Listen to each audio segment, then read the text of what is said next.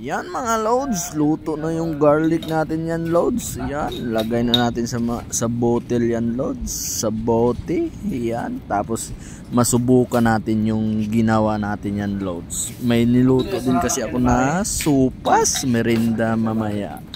Tsaka tignan natin loads. Masubukan na natin yan. Kung gaano kasarap yan loads. Yan na loads. Tinaping na sa sopas. Wow naman oh. Tara loads kain tayo baba.